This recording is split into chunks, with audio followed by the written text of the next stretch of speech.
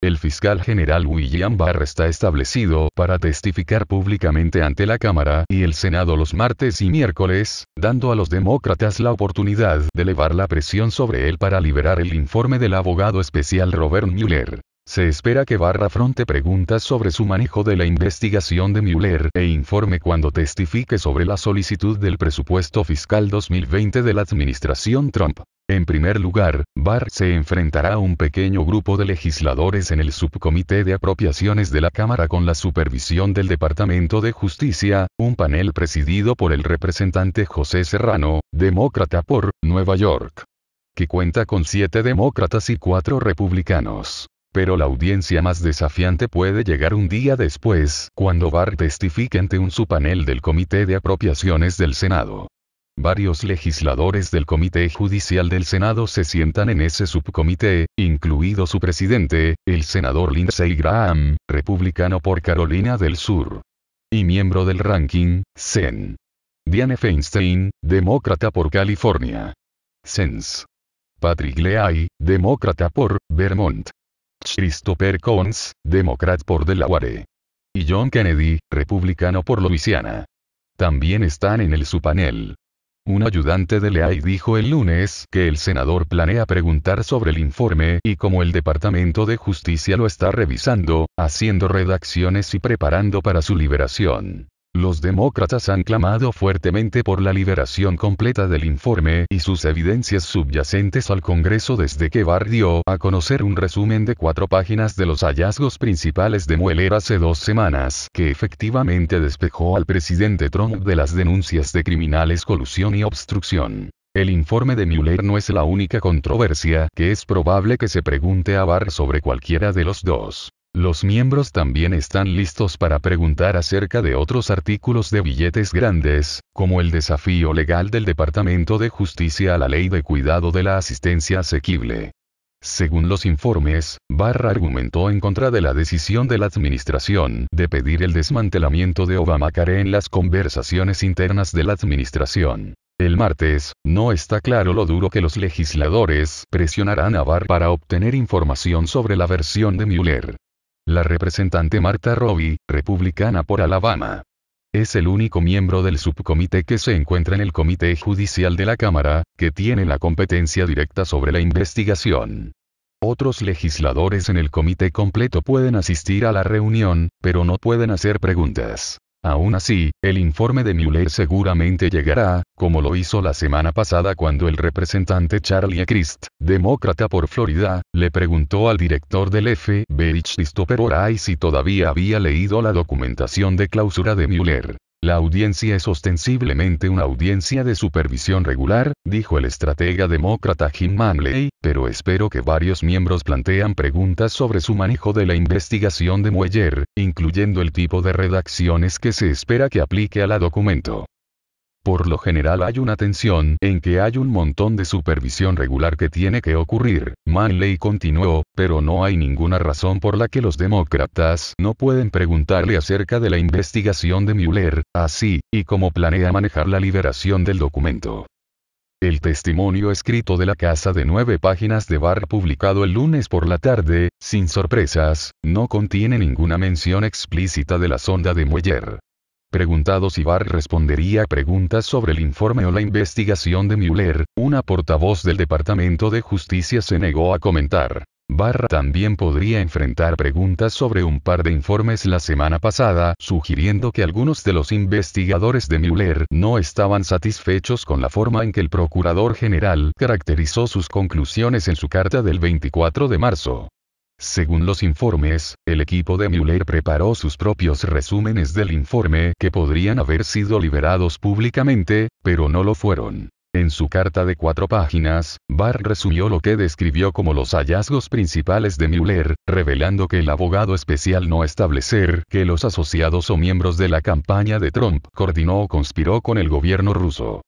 Barra también reveló que Mueller se negó a hacer un juicio sobre si Trump obstruyó la justicia y que él y el fiscal general adjunto Rod Rosenstein revisaron y juzgaron que la evidencia era insuficiente para acusar al presidente de obstruir la sonda. Los dos días de testimonio de Barr puntuarán llamadas de los demócratas congresistas para la liberación inmediata del informe completo de Mueller sin ninguna censura. Barr ha dicho que espera tener una versión del informe de Mueller lista para publicar públicamente y al Congreso a mediados de abril, pero que se redactará para ocultar el material del gran jurado, detalles sobre investigaciones en curso, información clasificada y material que podría impactar terceras partes periféricas. Los demócratas han acusado a Barr de tratar de retener información del Congreso con el fin de proteger a Trump. El Comité Judicial de la Casa en un voto de la línea de partido de la semana pasada autorizó a su presidente, el representante Gerald Nadler, demócrata por Nueva York. Para citar el informe completo y la evidencia subyacente de Barr no satisface las demandas de los demócratas. Es un defensor sesgado de la administración.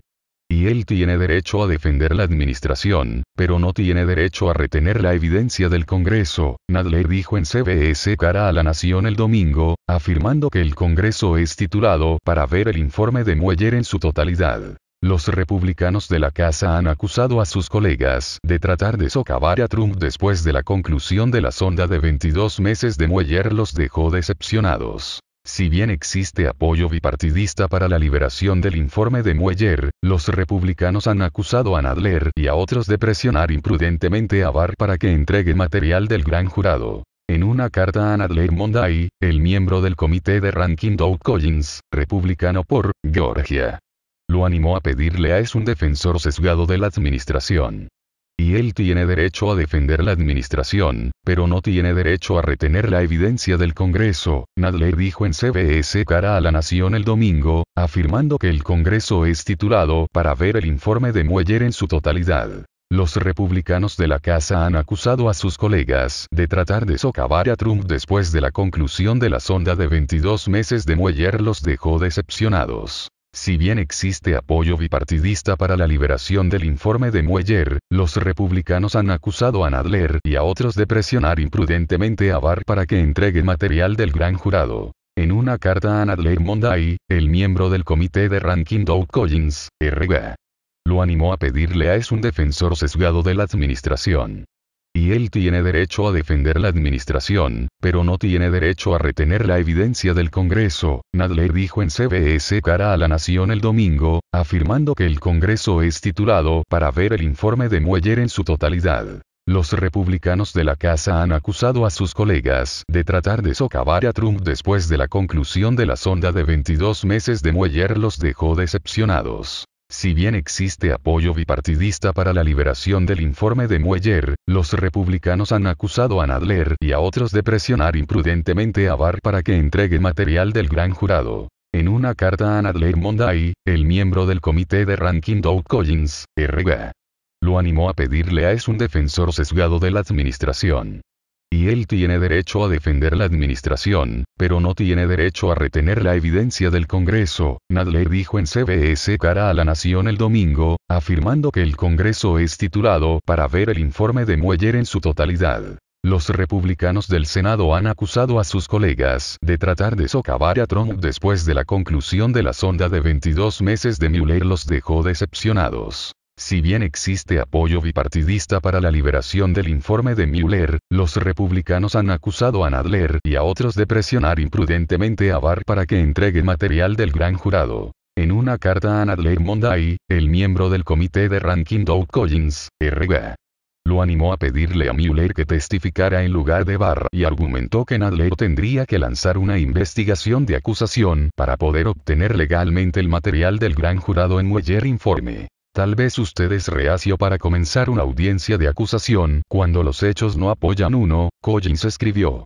que testificara en lugar de Barr y argumentó que Nadler tendría que lanzar una investigación de acusación para poder obtener legalmente el material del gran jurado en Mueller Informe. Tal vez usted es reacio para comenzar una audiencia de acusación cuando los hechos no apoyan uno, Collins escribió que testificara en lugar de Barr y argumentó que Nadler tendría que lanzar una investigación de acusación para poder obtener legalmente el material del gran jurado en Mueller Informe. Tal vez usted es reacio para comenzar una audiencia de acusación cuando los hechos no apoyan uno, Collins escribió que testificara en lugar de Barr y argumentó que Nadler tendría que lanzar una investigación de acusación para poder obtener legalmente el material del gran jurado en Mueller informe. Tal vez usted es reacio para comenzar una audiencia de acusación cuando los hechos no apoyan uno, Collins escribió.